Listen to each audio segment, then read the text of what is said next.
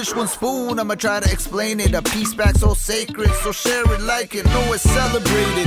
One dish is the land where people are expected to limit what they waste. Hoard and war is not accepted. With, with a request to have no knives on the dish, cause it's for sharing. And use one spoon so there's no bloodshedding. This treaty territory circles land across Great Lakes. On Turtle Island, it's a long distance to undertake. It includes my city known as T.6 or Toronto. Originally a Mohawk word pronounced to. Those streets I walk all day, it's highs and lows, they fill my soul. With actual stories that I'll gladly share with you all. Sharing the land has took place long before the great law of peace. The constitution of the Iroquois Confederacy. One dish, one spoon originally became a treaty between the Anishinaabe and Haudenosaunee specifically. Later, even Western nations joined to discuss the peace and got the blessing in Onondaga to squash the beef. That's why today we must respect the first constituents and keep the dish clean for our children and new immigrants.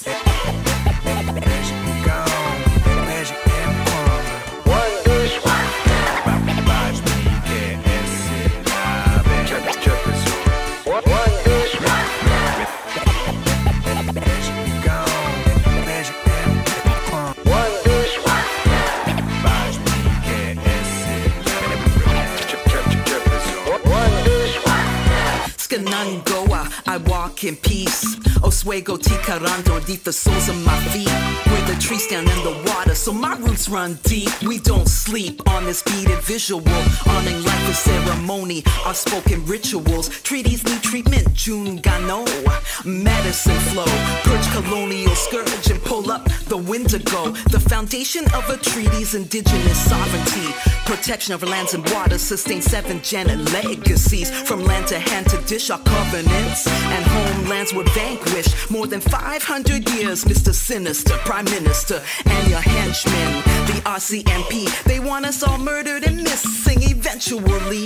Onkwehonwe say, not today, colonizer. We got our Thunderbirds and the eighth fire. Reconciliation dead, settler state expired. Our clan mothers told you there is no justice on stolen land. So put the dish back in the matriarch's hands.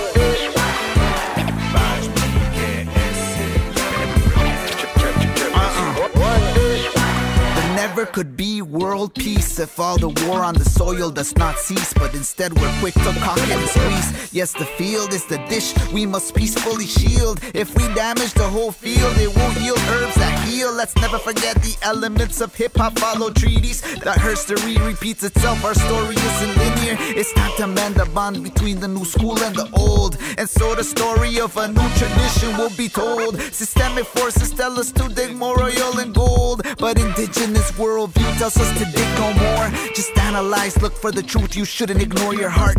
The exploitation of our mother was wrong from the start. Eyes of our great grandchildren look up at us from the earth. So let's walk carefully, don't stomp on the things they deserve. Remember that or write it down. Our elders never die. As long as their stories live on and their dreams stay alive. So when you're standing on the streets like Ishbadina in downtown Toronto, make sure you know which peace treaty you with. All these land acknowledgements become trivial if we don't make learning where we stand a daily ritual.